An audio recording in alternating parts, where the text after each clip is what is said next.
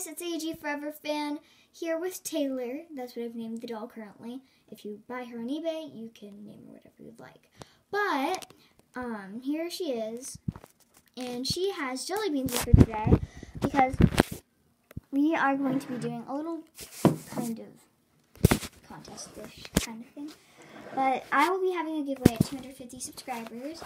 Uh, I know I have 180 something right now, um, but I'm just doing this in advance. I'll have these throughout the time period until I get to 250 subscribers.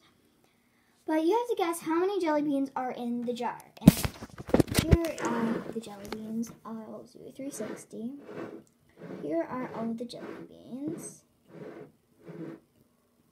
And whoever is the closest to the number that I have, um, the number of jelly beans, I've already counted them, but whoever has the closest guess, they will get their name put in there twice. Um, if you guys are wondering, these are Starburst jelly beans, and they are delicious. And I'm so tempted to eat them, but I have to keep them for the giveaway, kind of, or the giveaway entry before the giveaway. If that makes any sense. Um, so I can't eat them, but they look so good. Uh, not the point, but yeah, just comment down your guess down below.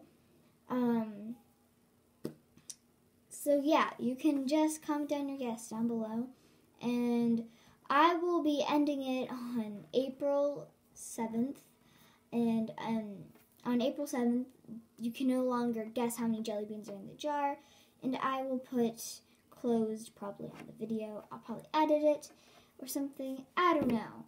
But you guys will no longer be allowed to guess on the jelly beans, or you can still guess, but it won't be eligible for the, well, prize.